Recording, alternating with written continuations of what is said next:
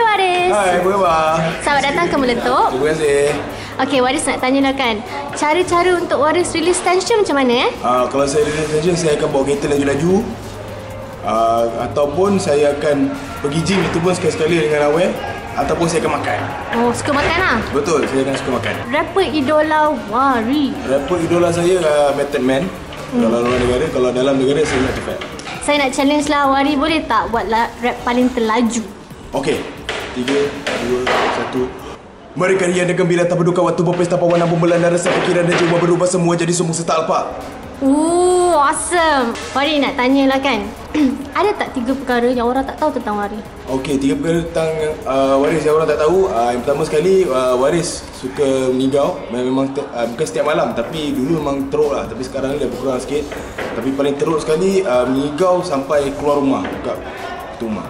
Dan yang kedua, Waris susah nak bangun pagi. Dan yang ketiga sekali, kuat tidur. Okey, album Waris Rumah Most Wanted dah keluar dah pada hari uh, pada semalam, waktu hari semalam dan mesti dapatkan pasaran ataupun kalau jumpa dekat mana-mana boleh beli dengan saya sendiri. Dia by hand, begitu dia dapat boleh sign autograph, kita boleh ambil gambar, kita boleh selfie dan sebagainya. Dan yang paling penting, support local scene. Peace. Bawa semua dia, yo.